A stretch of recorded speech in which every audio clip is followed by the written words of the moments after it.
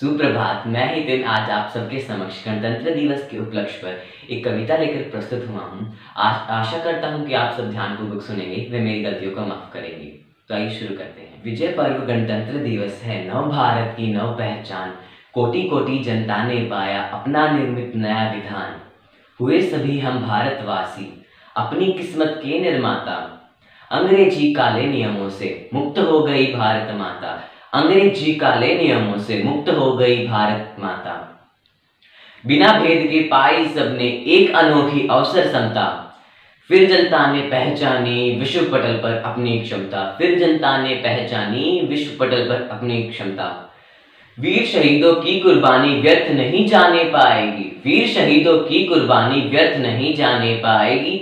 देश प्रेम की भीनी खुशबू जनगण मन को महकाएगी। देश प्रेम की भीनी खुशबू जनगण मन को महकाएगी। हो सद्भाव सभी के मन में कहीं ना हो आतंकी दंगा। हो सद्भाव सभी के मन में कहीं ना हो आतंकी दंगा। अमर रहे गणतंत्र हमारा सदा फहरता रहे तिरंगा। अमर हो रहे गणतंत्र हमारा सदा फहरता रहे तिरंगा। अंत में मैं अपने शब्दों को विराम देते हुए कुछ पंक्तियाँ सुनाना चाहूँगा कि वे कुछ इस प्रकार हैं। देश बटा था जब टुकड़ों में पटेल ने किया था योगदान। देश बटा था जब टुकड़ों में पटेल ने किया था योगदान। फिर हुआ अखंड सदा को। मेरा भारत देश महान, मेरा भारत देश महान। उत्तर में हिमालय शोभित, जो है इसकी उत्तम शान।